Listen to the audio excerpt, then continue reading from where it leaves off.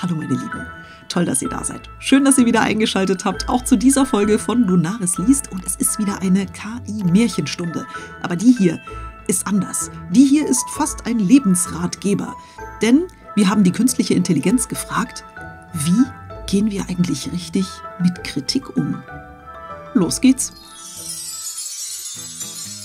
Wir haben sie ja massiv kritisiert beim letzten Mal.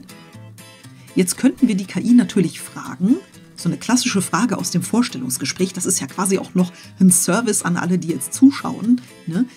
Liebe KI, bitte erkläre mir, wie geht man richtig mit Kritik um? Enter. So, also ist es da. Das läuft jetzt unter der Kategorie Dinge, die ihr fürs Leben braucht. Erklärt von einer KI. Um richtig mit Kritik umzugehen, sollte man zunächst eine offene Einstellung haben und bereit sein, die Meinung anderer anzuhören. Es ist wichtig, ruhig und sachlich zu bleiben und die Kritik nicht persönlich zu nehmen. Es kann hilfreich sein, nach konstruktiver Kritik zu suchen, die man verwenden kann, um sich zu verbessern. Es ist auch wichtig, zwischen sachlicher und unsachlicher Kritik zu unterscheiden.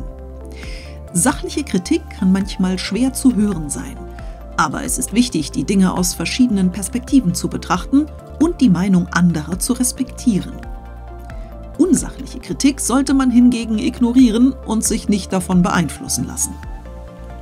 Es kann auch hilfreich sein, sich Feedback von mehreren Personen einzuholen, um ein umfassenderes Verständnis dafür zu erhalten, was man verbessern kann. Eine letzte, aber wichtige Anmerkung ist, dass die Art und Weise, wie man mit Kritik umgeht, auch Einfluss darauf hat, wie andere Menschen mit dir umgehen werden. Wenn man eine offene und produktive Einstellung hat, werden die Leute eher bereit sein, dir konstruktives Feedback zu geben.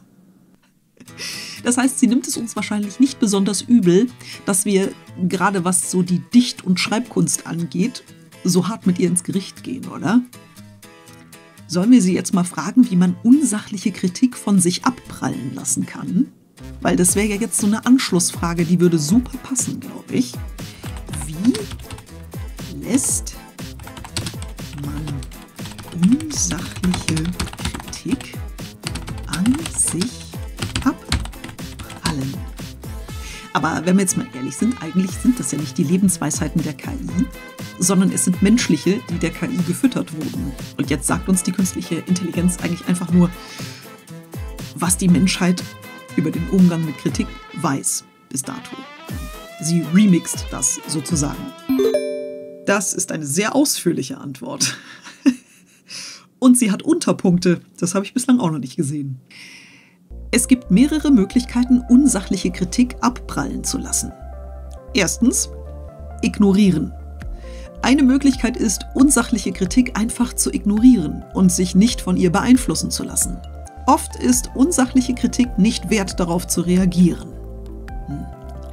Zweitens, Perspektive einnehmen. Eine andere Möglichkeit ist, sich in die Perspektive des Kritikers zu versetzen und zu versuchen zu verstehen, warum er oder sie so spricht oder handelt. Oft ist unsachliche Kritik das Ergebnis von Frustration oder Unzufriedenheit.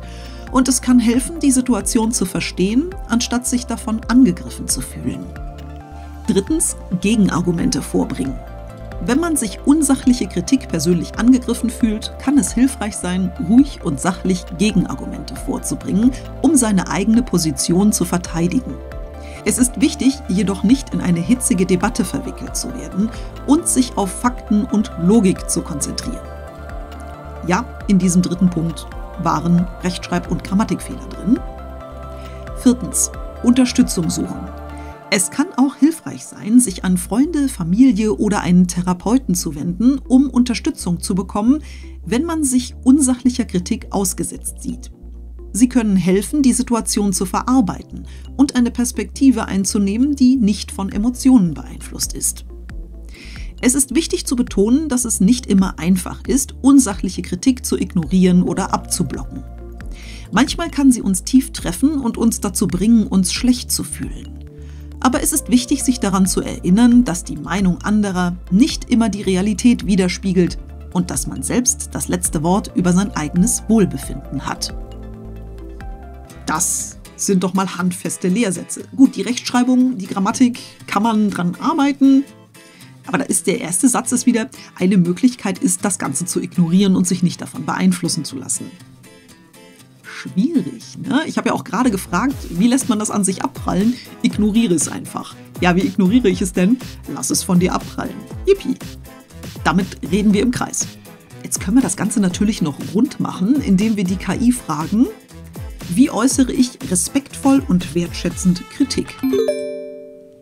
Um Kritik respektvoll und wertschätzend auszudrücken, kann man folgende Schritte beachten. Erstens. Sachlich bleiben. Es ist wichtig, sachlich und objektiv zu bleiben und nicht persönlich zu werden. Vermeide Verallgemeinerungen und persönliche Angriffe. Zweitens. Konstruktiv sein. Konzentriere dich auf konstruktive Kritik, die dazu beiträgt, dass die Person sich verbessern kann. Gib konkrete Beispiele und Vorschläge, wie die Situation verbessert werden kann. Drittens. Privat sprechen. Wenn möglich, sprich über die Kritik privat und nicht vor anderen Leuten. Auf diese Weise kann die Person die Kritik in Ruhe aufnehmen und sich darauf vorbereiten. Viertens. Den Zeitpunkt beachten. Wähle einen geeigneten Zeitpunkt, um Kritik zu äußern. Vermeide es, jemanden in einer stressigen Situation oder wenn er oder sie emotional aufgewühlt ist, zu kritisieren. Fünftens. Wertschätzung zeigen. Vergiss nicht, die Person für ihre Stärken und Leistungen zu loben und Wertschätzung zu zeigen. Auf diese Weise wird die Kritik nicht als Angriff empfunden, sondern als Teil eines Prozesses der Verbesserung und Entwicklung. Sechstens zuhören. Lass der Person die Möglichkeit, ihre Perspektive und Gefühle zu äußern und hör ihnen aufmerksam zu. Siebtens, eine Lösung suchen. Arbeite gemeinsam an einer Lösung für das Problem und vereinbare nächste Schritte.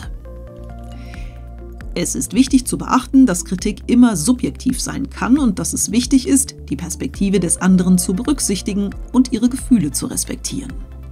Auf diese Weise kann man sicherstellen, dass Kritik als hilfreich und nicht als angreifend empfunden wird.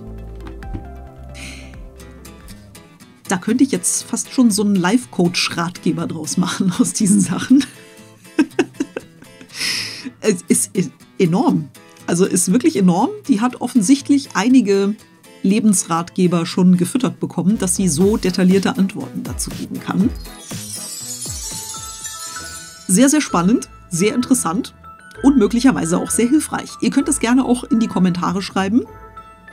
Und dann hoffe ich, dass wir uns auch beim nächsten Mal wiedersehen. Zur nächsten KI-Märchenstunde. Macht's gut!